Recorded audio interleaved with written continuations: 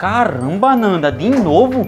Já é a quarta vez que eu pego você nessa situação. Eu tô cansado disso tudo. Toda vez que eu chego sem avisar, você tá fazendo isso. Não aguento isso mais não. Vou ter que arrumar uma solução para nunca mais pegar você desse jeito. Você vai ver. Eu não aguento mais pegar a Nanda nessa situação. Colocando esse escapamento barulhento, meu problema vai acabar.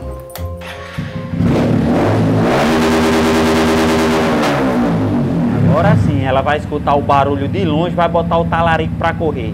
Nunca mais eu pego ela no flagra.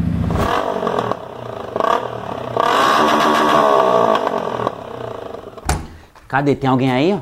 Olha aí, não tem ninguém. Tá vendo, Nanda? Eu sabia que esse investimento era a melhor coisa que eu ia fazer pro nosso casamento. Eu chego em casa, não tem ninguém, não tem nenhuma surpresa. Colocar o escapamento nessa moto foi a melhor coisa que eu fiz pro nosso casamento.